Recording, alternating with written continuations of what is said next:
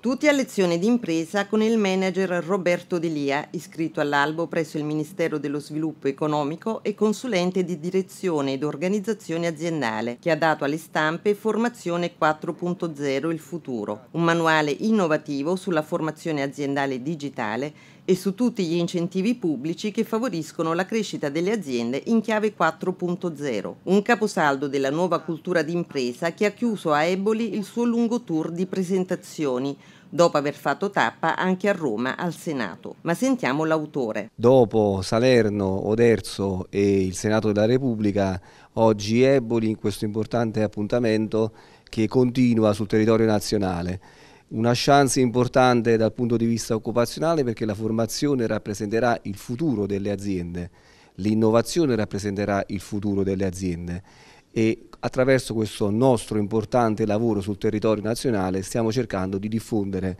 questo concetto quanto più possibile. Parter d'eccezione per l'appuntamento nella sala Mangrella del complesso monumentale San Francesco, con autorità civili e istituzionali, esponenti della politica, rappresentanti del mondo imprenditoriale, finanziario e dell'informazione. Una sala qualificata e attenta alla direzione in cui va il mondo delle imprese. Abbiamo incontrato Giancarlo Presutto, amministratore unico della Leonardo SRL. Siamo convinti che oggi e per il futuro la transizione 4.0 ovvero sia eh, la chiave di volta per le imprese italiane. Tradotto in doppia versione in italiano e in inglese, il libro di Delia ha conquistato anche il mondo delle istituzioni. Sentiamo il parlamentare Attilio Pierro e il consigliere regionale Andrea Volpe. È indispensabile eh, eh, fare ognuno la sua parte, le aziende si devono aggiornare, eh, devono andare avanti con eh, le, le nuove tecnologie, ma anche la politica deve fare la sua parte. La politica ha avviato questo percorso, anzi con il credito d'imposta, perché comunque è stato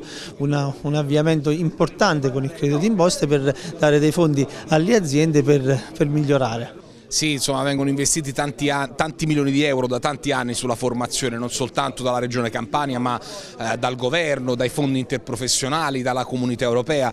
Dobbiamo soltanto saperli spendere questi soldi davvero.